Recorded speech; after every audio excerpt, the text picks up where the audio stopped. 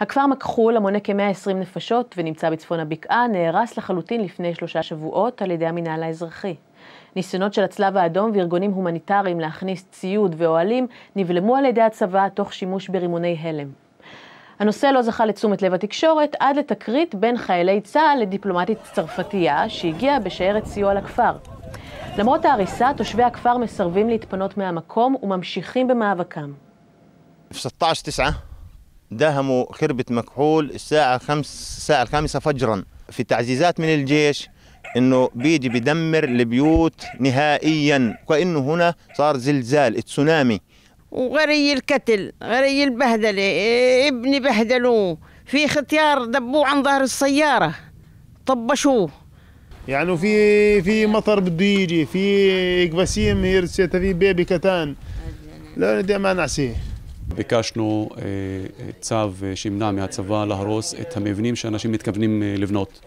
כי כל אוהל שהיה נבנה לאחר 16 לספטמבר על ידי התושבים, מיד בא הצבא והרס אותו, ואמר לתושבים שאסור להם לבנות אפילו אוהל אחד, למרות שמדובר כאן בשטח פעילות פרטית פלסטינית, שיש להם נסחי טאבו מזמן הירדן ואפילו מזמן הבריטים. ואין מחלוקת על זה. ובית המשפט העליון נתן לנו צו שאוסר על הצבא לגרש את התושבים מחרבת מכחול, ואוסר עליהם גם כן להרוס את המבנים נשוא העתירה. לפני מספר ימים אפילו הגיעו לכאן כ-40 חיילים בשעה שתיים וחצי בבוקר, הרסו שלושה אוהלים. הם, התושבים, תושבי מכחול, לא היו עדים במו עיניהם למראה החיילים כשהם שורפים את, ה, את האוהל ואת חבילות החציר, היינו חושבים וחושדים בתג מחיר שהוא עשה את זה.